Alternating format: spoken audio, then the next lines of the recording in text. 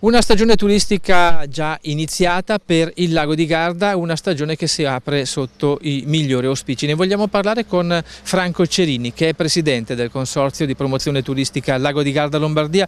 Dottor Cerini, tanti mesi di lavoro alle spalle, una stagione autunnale, invernale impegnativa per il Consorzio. Eh, dopo questa attività che cosa si può dire sulle aspettative per il 2016? Affrontiamo la stagione 2016 con grande ottimismo, ottimismo che non ci proviene solo da sensazioni personali ma dal riscontro che abbiamo ottenuto partecipando a fiere, organizzando educational, riaggiornando il nostro sito e dai risultati che abbiamo ottenuto dal parere degli ospiti che hanno partecipato a tutte queste iniziative. Il lago di Garda è un lago amato e sempre più amato. E beh, naturalmente ehm, una delle peculiarità di questo consorzio è la forza di un'unità territoriale che è alle proprie spalle, quindi amministrazioni comunali, imprenditori del settore turistico, tutti con un obiettivo ben chiaro, preciso, la promozione territoriale e naturalmente anche la tutela del territorio perché questo è il patrimonio su cui si può fare leva. Guardi, e, e il lago di Garda Lombardia unitamente al Consorzio Veneto, al Consorzio Trentino rappresenta rappresenta nel panorama italiano un unicum. Non esiste un altro paragone di tre regioni che lavorano così assiduamente e costantemente. Io sono presidente del Consorzio Lago di Garda Lombardia grazie per la verità e la generosità dei sindaci che hanno inteso scegliere non un pubblico amministratore per rappresentarlo ma un imprenditore che rappresenta non solo le amministrazioni comunali ma i consorzi di tutela, i consorzi del vino ma e di tutti, soprattutto i consorzi dell'enogastronomia del lago di Garda, quindi è un grande onore. Credo che questa sia la nostra forza che dobbiamo costantemente perseguire. 24 milioni di presenze turistiche annuali, eh, circa 19 di queste sono formate da stranieri, quindi circa il 10% delle presenze turistiche eh, in Italia di stranieri. Il lago di Garda è molto solido, questi dati sono un tetto o un punto di partenza per nuovi risultati brillanti? Ma il lago di Garda rappresenta, pensi un po', dopo Roma e Venezia il terzo distretto italiano come numero di presenze. È una cosa incredibile che a volte ci sfugge e ci costringe ad impegnarci sempre di più. Io ho l'impressione che possiamo e dobbiamo migliorare. Dobbiamo dichiararci per certi versi naturalmente insoddisfatti di quel che abbiamo fatto nel senso che possiamo e dobbiamo metterci a lavorare costantemente di più e meglio. Possiamo farlo. Immagino ci siano molti canali su cui viene proiettata l'immagine del lago di Garda, molti progetti da attuare. Quello che secondo lei distingue maggiormente il Consorzio Lago di Garda Lombardia in questo periodo, qual è l'attività di cui si sente maggiormente orgoglioso? Ma il lago di Garda Lombardia rappresenta una diversità, la sponda lombarda che parte da Limone e arriva a Pozzolengo, quindi la parte che riguarda l'aspetto dello sport, dell'interesse. E dico che ultimamente abbiamo messo in campo l'iniziativa del turismo religioso proponendo dei percorsi che valorizzano ciò che in verità c'è già. Si era detto una volta del lago, si diceva dalla gente di lago gens acquatica, gens selvatica. È stato modificato da un nostro parroco che ha detto gens acquatica, gens sancta, considerando il fatto che da Limone ricordiamo Daniele Comboni, fino a Desenzano e anche a Pozzolengo, ogni nostro paese ha un santo, ha qualcuno che ha segnato non solo dal punto di vista religioso, ma dal punto di vista cristiano l'impegno verso la società. E dalle parole del presidente Cerini incontriamo il vicepresidente Luigi Alberti. Parliamo di un altro punto di forza straordinario del territorio gardesano, ovvero l'enogastronomia, un prodotto eh, ricchissimo che può essere vantato da questo territorio. Parliamo di tanti tanti argomenti che sono frecce nella faretra dei gardesani per essere lanciate da un arco che è anche il Consorzio Lago di Garda Lombardia. Sì, è vero.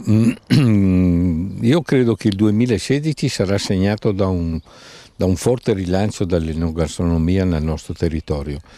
Il risultato del 2015 è stato altamente positivo. Eh, le cantine sono state aperte per lunghi periodi, la gente ha potuto degustare i nostri vini ma soprattutto anche gli olefici, nonostante un'annata difficile, però ha trovato una presenza notevole e sta sempre più prendendo piede nei nostri ristoranti, negli alberghi eccetera, la possibilità per i turisti di eh, gustare sui propri tavoli vini, olio e i nostri prodotti, a cominciare anche dai formaggi dall'alto dell'Alto Garda. Credo però che noi dobbiamo caratterizzare di più la nostra azione.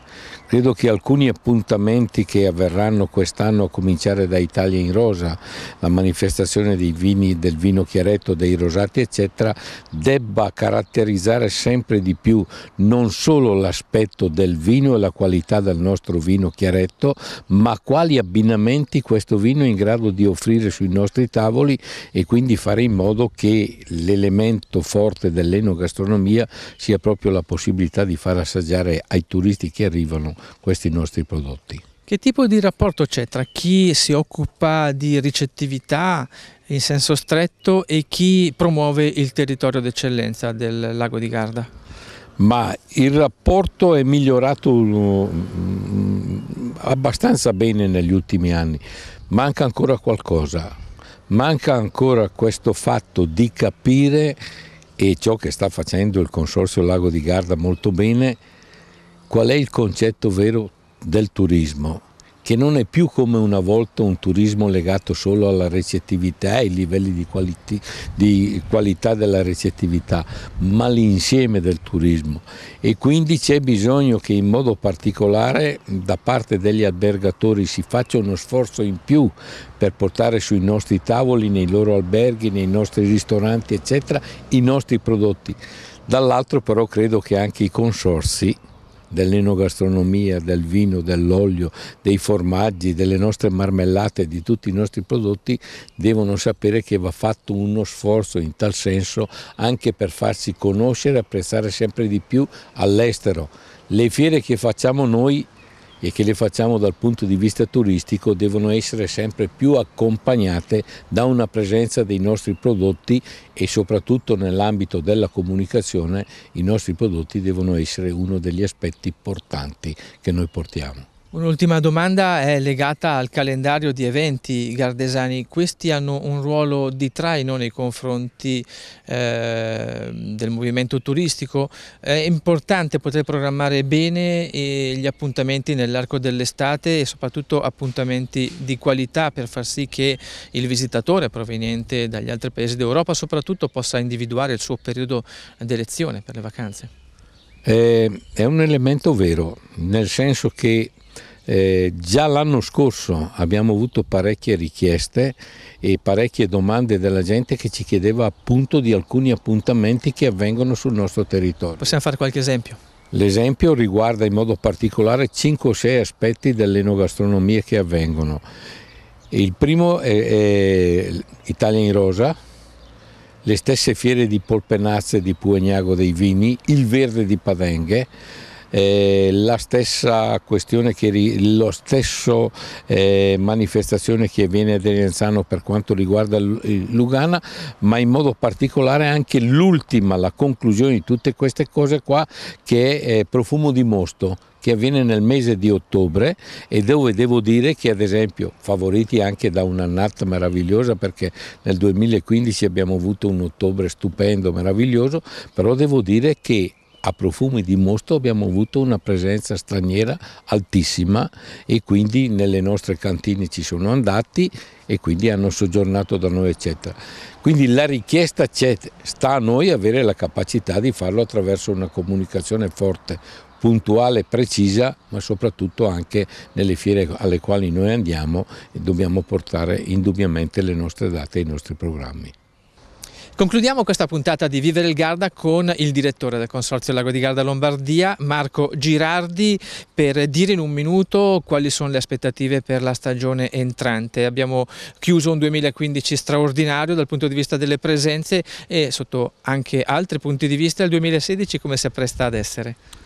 Beh, il 2016 sarà, mm, secondo noi, ma secondo naturalmente anche parlando con i nostri albergatori che stanno già appunto avendo eh, diverse richieste, quindi già tante prenotazioni e dovrebbe essere un anno migliore ancora del 2015, quindi sicuramente si prevede un aumento ulteriore eh, di circa sicuramente un 5% in più del 2015 nazionalità di riferimento quelle del centro-nord Europa, ma in forte crescita anche nuove aree e gli italiani che cominciano a tornare già dal 2015 effettivamente sul lago di Garda in maniera massiccia. Certo, la prova l'abbiamo avuta il periodo pasquale, c'è stato il boom proprio degli italiani sul Garda, non era mai successo e già l'anno scorso c'è stato un notevole aumento anche in paesi che normalmente eh, gli italiani li vedevi poco, tipo Limone e così, mentre invece veramente c'è la riscoperta degli italiani del lago di Garda.